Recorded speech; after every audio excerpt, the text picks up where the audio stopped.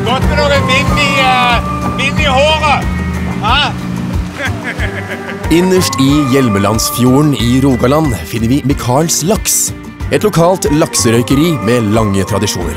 Og med et litt over gjennomsnittet stort fokus på de beste lokale råvarene. Jeg har jo et litt sånn eh, flåsete uh, uttrykk. Det er det at eh, du, du skal vite hva du stapper i kjeften.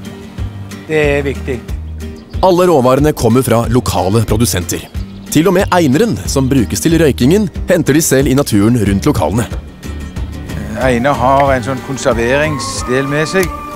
Og det ikke minst gir det en eh, god røykesmak på produktet.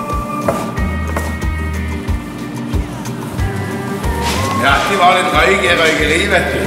Ja, du får litt frisk luft nå, altså. I dag leverer Mikael røkt og gravet laks til menybutikker på store deler av Sør-Vestlandet. Og nesten hele familien er involvert i prosessen, alt for å sikre den beste kvaliteten. Så du må ha skikkelig råstoff, og så må du ikke jukse under veien. Er det eh, dårlig fisk eller et eller annet, så, har det vel hendt vi har kjørt den tilbake. Så får vi selge den til noen andre som ikke er så nøye på kvaliteten, da.